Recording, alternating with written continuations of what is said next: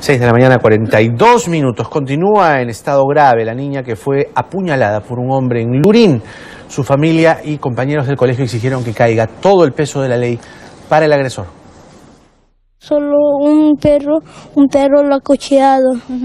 Hemos visto sangre. El recuerdo de un sanguinario ataque ha marcado la infancia de estos niños. A sus cortos siete años, el pequeño Jean-Pierre fue testigo del cruel asesinato de un perro mientras jugaba en el patio de su casa en Lurín junto a otros niños el domingo pasado. Y cuando nosotros todos mis amigos hemos visto sangre hasta que hemos visto allá sangre y hemos visto un perro cortado de mitad. En su inocencia, el menor nos relata los momentos de terror que vivió tras acercarse a su vecino Martín Mesa Castillo de 31 años. El desquiciado sujeto empuñó el cuchillo con que mató al animal y apuñaló por la espalda a una niña de 3 años. Y cuando que la Ketty se fue a la casa, la Ketty, ese ladrón lo lo con el cuchillo lo ha hincado. A tu amiguita. Y después me ha hincado a mí. En su intento por defender a la pequeña, Jean-Pierre terminó con un corte en el pecho. Con, con la mano me han cuchillado con un cuchillo. ¿Quién te acuchilló? Un hombre.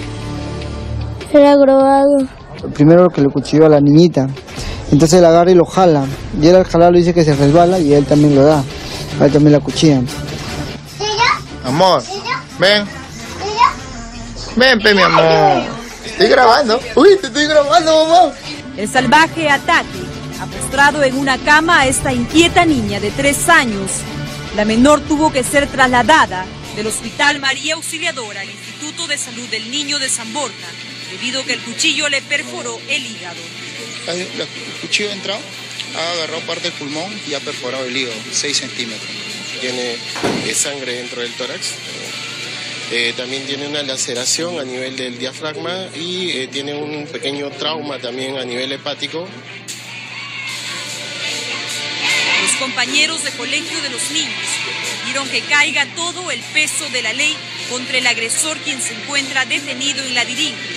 Yo pediría que se quede preso, más que nada por la seguridad de, de todos los niños, porque no ataca a personas adultas, ataca a niños, porque en el 2004 ya, ya ha atacado a un niño.